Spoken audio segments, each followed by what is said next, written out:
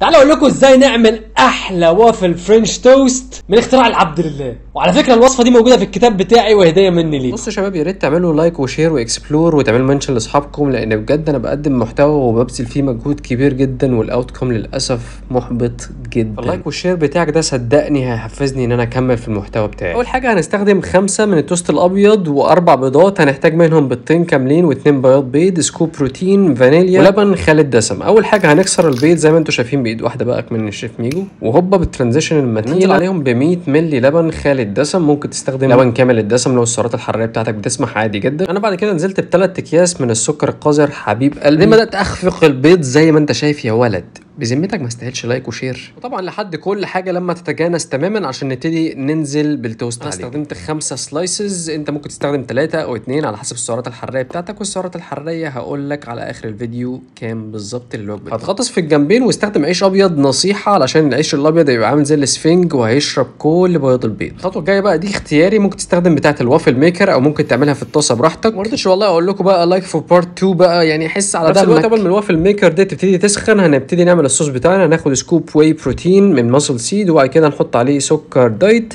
وشوية مية وهنقلبه لحد لما يبقى القوام بتاعه عامل زي الصوص ال waffle maker بتاعتنا سخنت وكله زي الفل. هنجيب بقى بتاع حوالي 2 جرام كده زيت زيتون وبالفرشة السيليكون هتدهنها على الجنبين وبعد كده تبتدي تنزل التوست بتاعتك واحدة زي ما أنتم شايفين هي بتشيل اتنين فده مصلحة. بقى كده يا باشا. وأحلى waffle French toast هتاكله في حياتك. شايفين يا جدعان العظمة؟ أحلى حاجة في ال waffle maker بقى إن هي ما بتاخدش وقت خالص يعني آخرها 30 ثانية وبتخلص لك كل حاجة. على عكس بقى لو استخدمت هتكمل ال process بتاعتك لحد لما الخمسة وافل يخلصوا وهتنزل عليهم بالصوص واتفرج يا باشا على أحلى وافل فرنش توست. يستاهل بقك الجميل ده يا عسل أنت.